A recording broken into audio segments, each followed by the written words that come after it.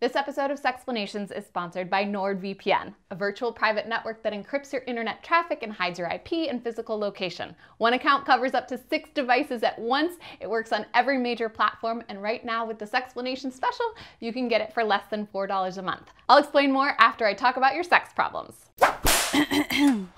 My name is Dr. Lindsey Doe. I've been a clinical sexologist for 14 years now. I have my doctorate in human sexuality, I've taught at universities, and I've worked with clients in private practice for many years. This show, Sexplanations, is where I share my knowledge to help a broader audience be better citizens of Earth. Today, this happens by offering you a way to relate to one another, learning about each other's experiences, and then being able to apply that insight to our own lives. I'm going to share some of the messages I've received from you, six scenarios where people have brought up sexual concerns they're struggling with, realities that many of us have or will face some variation of in our lives. I'll also give short replies in the comments below, but here in this video, the education is about the questions. How do people struggle with sexuality? How does it work to hold space for their stories? No shame or obsession to fix them. Ready? Whew, here we go. First scenario I'm a 26 year old woman and I've never had sex. I think I'm somewhere on the asexual spectrum. Very rare for me to experience sexual attraction to people. I masturbate all the time though. I usually masturbate with my underwear on by rubbing my clit from outside my underwear. It feels great and I usually come in a pretty short amount of time. Rarely ever masturbate by touching my fingers directly to my clit. For some reason, it's a lot harder to make that work. I have to touch myself in just the right way and extremely lightly for it to feel good. If I don't do it lightly, it's too much sensation and I end up kind of feeling nothing. I also have to already be in the right mindset. I do it occasionally, but it tends to be more trouble than it's worth.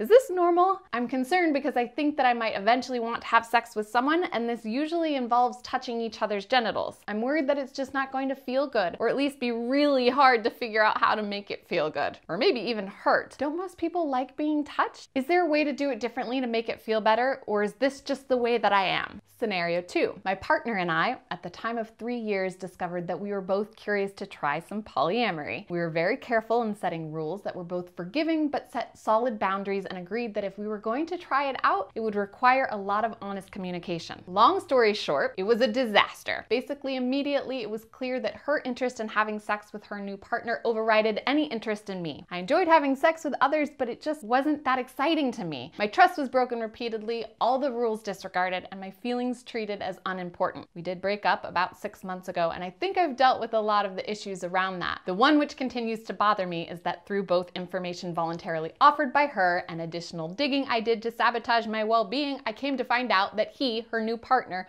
was not just bigger than me, but significantly so. I'm about average five, five and a half inches, and I had never been particularly bothered by that because it didn't seem to be an issue with her before. But I have a hard time believing after what happened, and this only made it worse by me knowing measurements. As in, I try and remind myself that it isn't the end all be all, but I have numerical evidence to add to the emotional evidence of being, in, in essence, cheated on, that I'm inadequate as a person, and I can quantify that nine and a half inches is much better than five inches. For the first few months, I couldn't think about sex or watch porn or masturbate without the thought of being completely inadequate overtaking me. Most of the time, I'm okay nowadays, but occasionally it still pops up. I've dealt with much more of the after effects of essentially being cheated on, although I worry about my ability to trust others going forward. I still haven't slept with anyone else. I feel ready to, but I worry that part of my intention is to hope I regain some confidence and comfort with my own sexuality. Is this something that I'll just have to wait for? Do you have any videos on this subject? I'm not sure how to gain confidence without exterior validation, which I expect would be ultimately inadequate anyway. Scenario three We've been married for 15 years. For the first two, we had sex practically every day. In the past 13, I can count the times on my hands, and they always end up me having fun but not climaxing, and him being frustrated and not climaxing because he wasn't in the mood, but did it to please me anyway.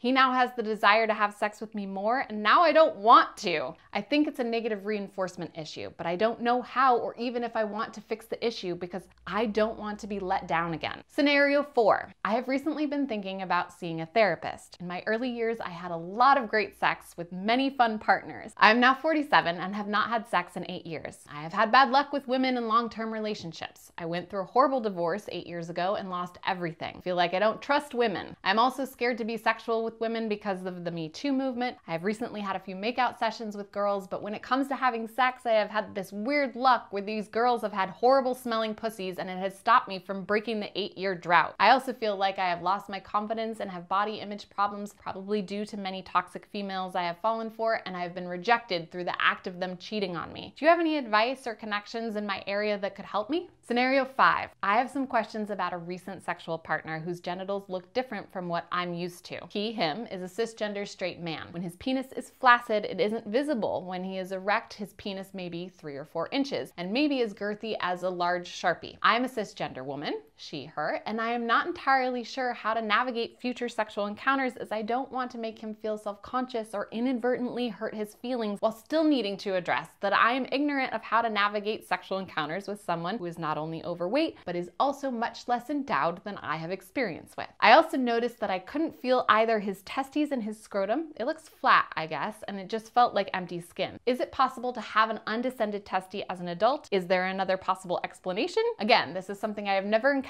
so I'm not sure how to breach a conversation to ask about it and navigate how to pleasure him or find out what feels good for him. Scenario six. I'm almost 19 and a flat chested girl. Since I started puberty, I have known that I have a natural disadvantage. I know this from various situations. I'm not attractive enough for a long term relationship. I also know that the issue requires proper therapy, but I wanted to ask you how can I deal with the feeling that my romantic life will be affected because of my body without having to think that I'm not a valid person? I just want a little advice on how I can start searching for help on my own if that is possible. Whew, okay, back to Lindsey. This is me talking. I receive hundreds of thousands of messages from people about their sex lives, pregnancy scares, assault, insecurities, pain during intercourse, fear that they like something that is bleh, whatever, a little too much, a little too weird, fear that they aren't enough, relationship challenges, body image challenges, the full gamut of human sexual dilemmas. Having sexual problems is completely normal. If we start there, accepting that we're not invincible to sexuality, the bliss, the bane, and the bloom of it, then we will find resolve. Stay curious. As you may know, I live in Mexico now, a small village in Baja California Sur on the seaside of the peninsula. That means when I use my computer without a VPN, pages come up in Spanish and research articles are about studies of Mexico. Airbnbs are listed in pesos, which can be great. It's all great. But there's an easy solution, something to give me back all my comforts, my shows, my English. NordVPN for 65 pesos a month or $3.49 per month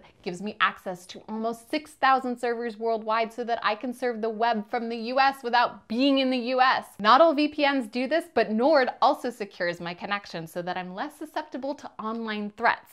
And they support comprehensive sex education.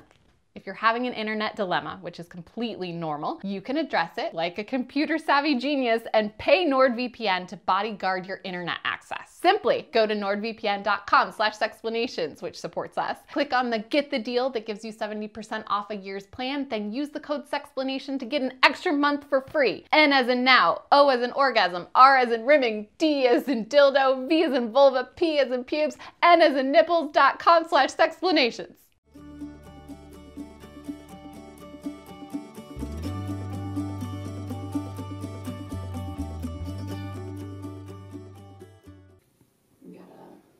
I know. Just flush it. Dude, let it out. Send it into the Let camera. out.